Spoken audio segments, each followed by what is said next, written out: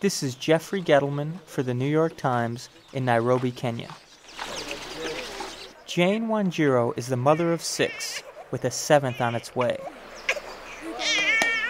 For the past three months, she has been living in muddy uncertainty, a displaced person whose home is a tent.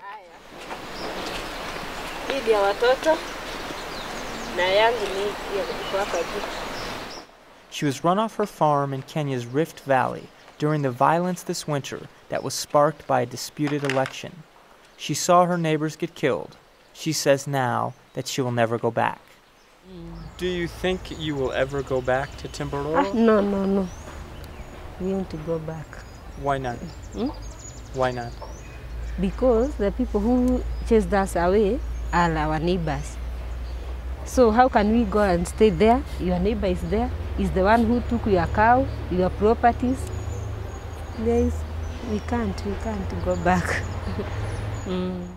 There are still at least 300,000 displaced people in Kenya, and some of them are living on the fringe of the nicest neighborhoods in Nairobi, the capital. Miss Wanjiru and her family are camping just up the road from a fancy mall, but they've never seen it. Some of the displaced people are children who have been separated from their parents or abandoned.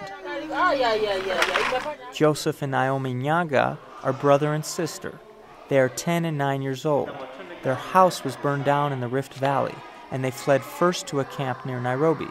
Their mother died there, and their father left them behind. No, we left ahead.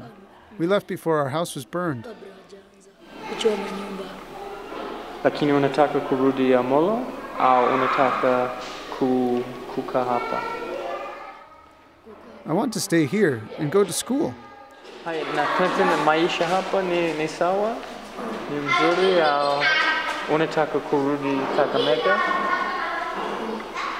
Unataka kurudi Kakamega? Kurudi nyumbani yako? Kwa nini?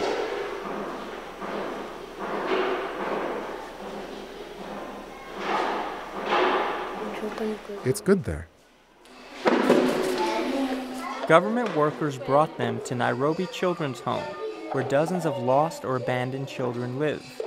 Some are toddlers, one girl was 16. Many of them had lost their homes and their parents and were uprooted by the election chaos. The home attempts to bring families together. Like if a child comes here and a child is able to talk and give us information about where they come from, about their parents, we are able to reunite the, the kids with the parents as soon as possible.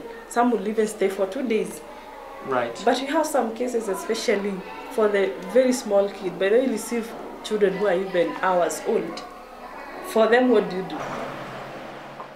Kenya's President Mwai Kibaki and other government officials have promised to help the displaced people.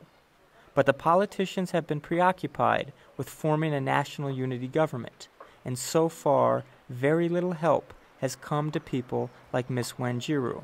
Do you still support Kibaki or or not? We are now not supporting anybody. but you voted for Kibaki. We fought for Kibaki. And now Doubting that he will help us. But now, even a word, his word is only telling us to go back. Eh? And he will build for us. That is, it means nothing. Mm.